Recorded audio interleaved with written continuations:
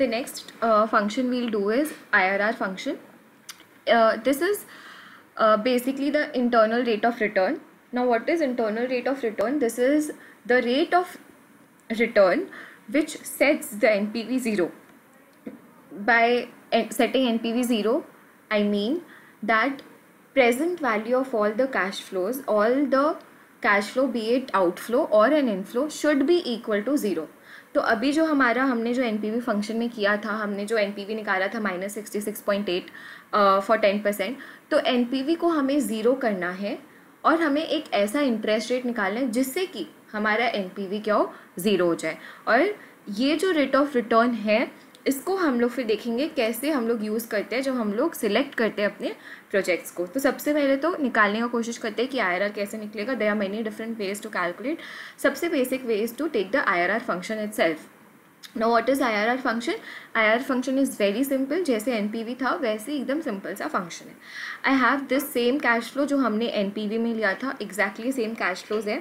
Interest rate है ten percent अभी के लिए obviously we don't have to take interest rate why because we have to calculate the rate of return which will set the N P V as zero तो बहुत ही basic है, बहुत ही ज़्यादा basic है। Let's try it out कैसे होगा। I R R it returns the internal rate of return and all the values देखो यहाँ पे वैल्यूज़ है। ऑल द वैल्यूज़ मतलब कि ऑल कैश फ्लो वैल्यूज़ अब यहाँ पे एक चेंज है।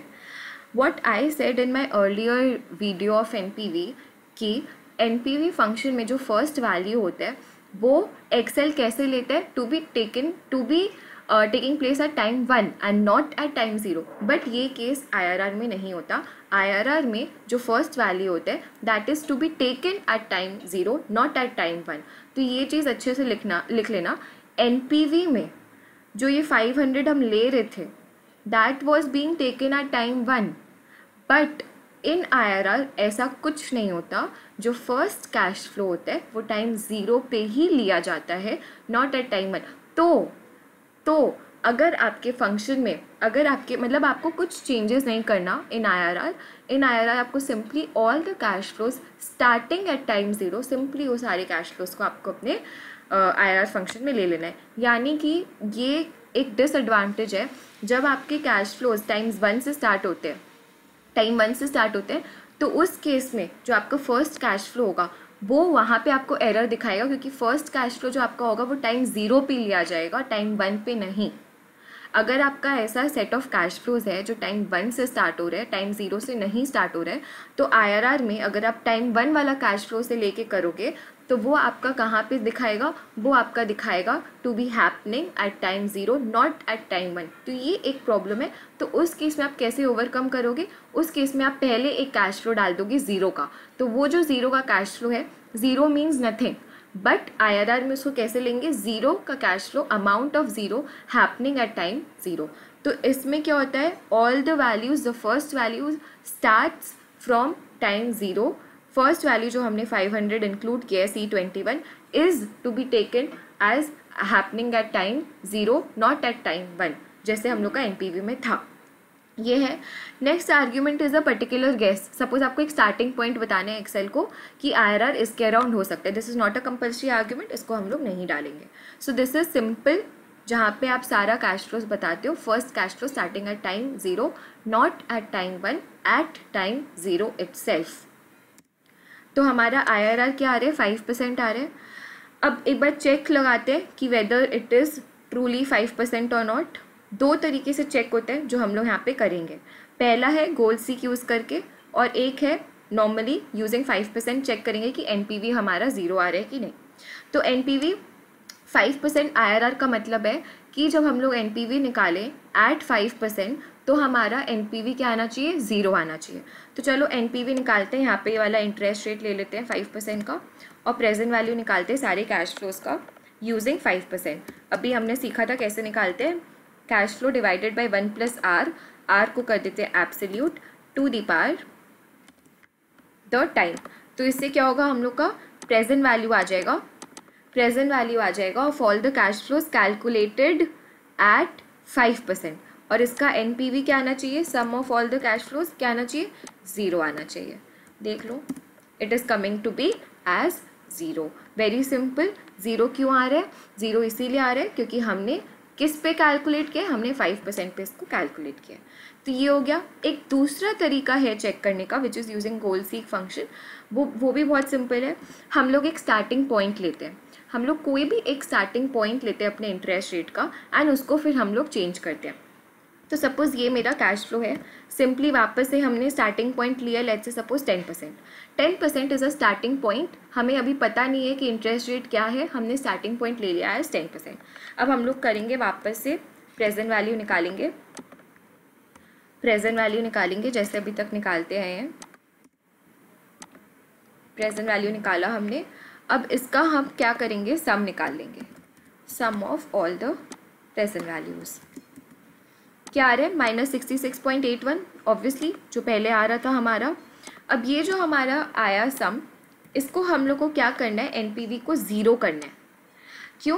क्योंकि I R R is the rate of return at which N P V is zero तो ये इसको एन पी वी को हमें क्या करना है? ज़ीरो करना है बाय चेंजिंग गोल सिक में हमने क्या था? By changing the interest rate तो आप क्या करोगे? सिंपली डेटा टैब में जाओगे what if goal seek NPV को हमें सेट करना है to value zero by changing the rate of return which we have taken which is the starting point जो हमें पता नहीं है, ऐसे हमने अज्यूम किया कि टेन परसेंट के अराउंड हो सकते हैं।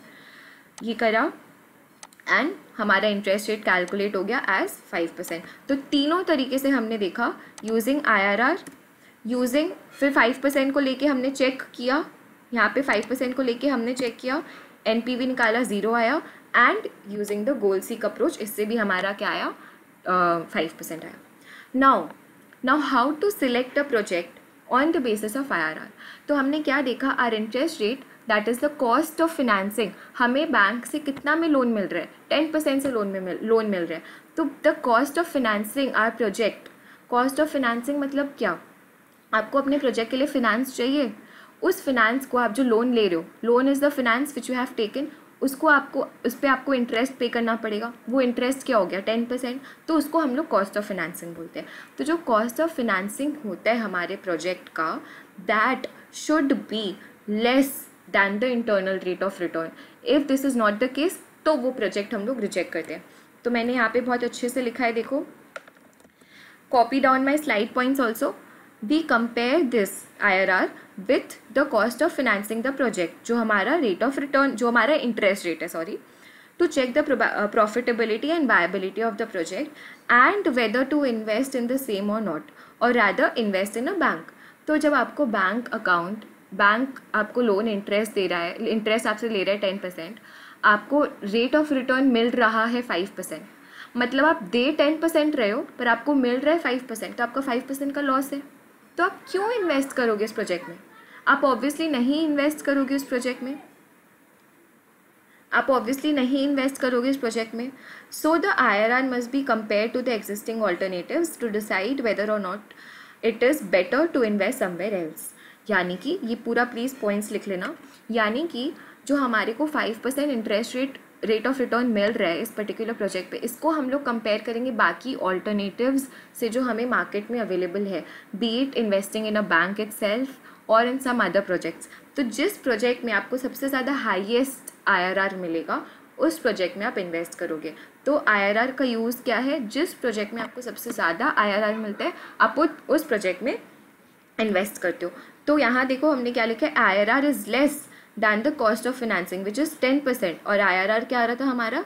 Five percent hence we are losing we will not invest in this project हम लोग we are losing because we are paying ten percent and we are getting five percent rather we will invest in a bank account क्योंकि अगर आप same bank account में deposit करोगे तो maybe maybe आपको ten percent interest मिले।